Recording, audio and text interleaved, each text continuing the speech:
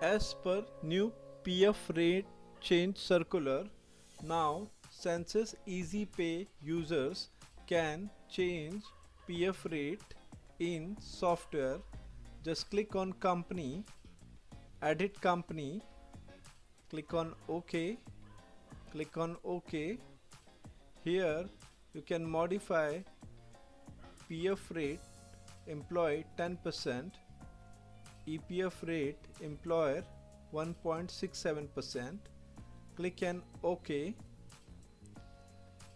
After submitting change just click on select month. Here you can click on new month. Now May month can be created.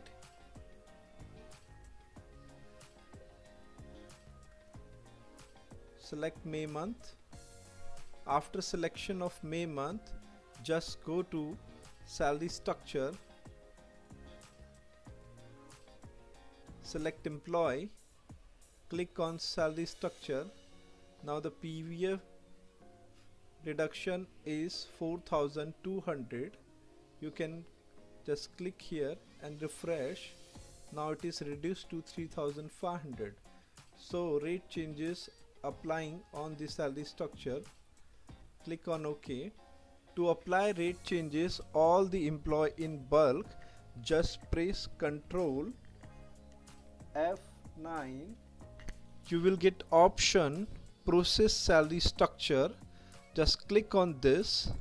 It will process salary structure for all the employee and PF deduction will be updated according to PF rate change. After this, now user can process the salary as per new PF rate. Here we have online support team working for all type of support you can reach to support team by email ID or share your queries on WhatsApp helpline number.